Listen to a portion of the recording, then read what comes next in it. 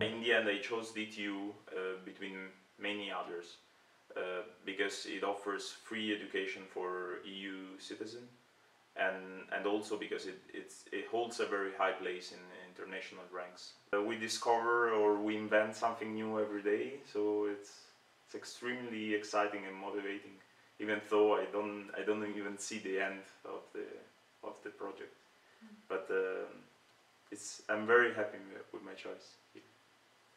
All the pieces you see in these kind of labs, they're extremely expensive and some of the setups are unique.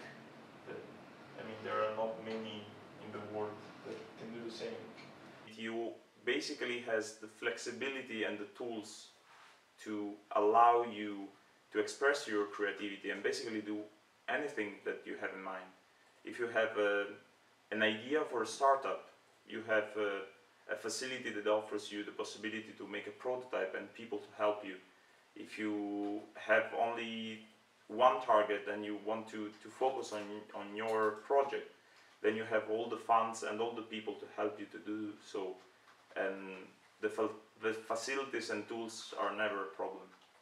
That's, that's a good thing and you don't see that often, especially in universities.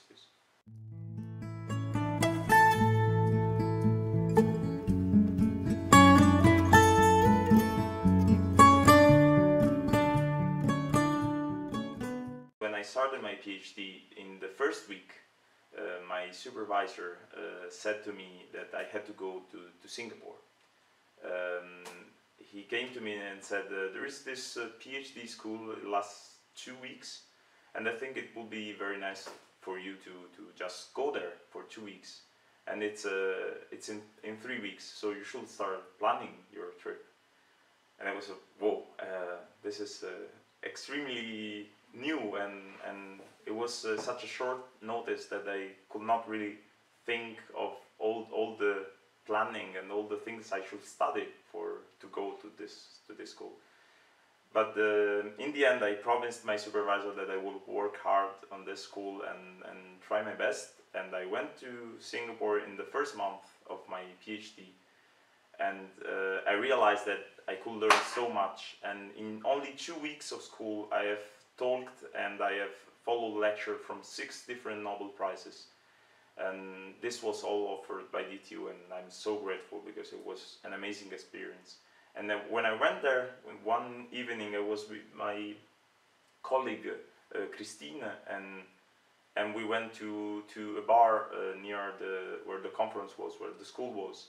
And we had a cocktail and we took a picture with, with us, a cocktail and a band playing be, uh, behind us and we sent the picture to our supervisors uh, with with the title "We are working hard on it," and yeah, this is, I mean, this environment, this this friendship that you, this relationship that you can create with your team. I think it's a value that you do not find uh, in many other places in the world. I would say.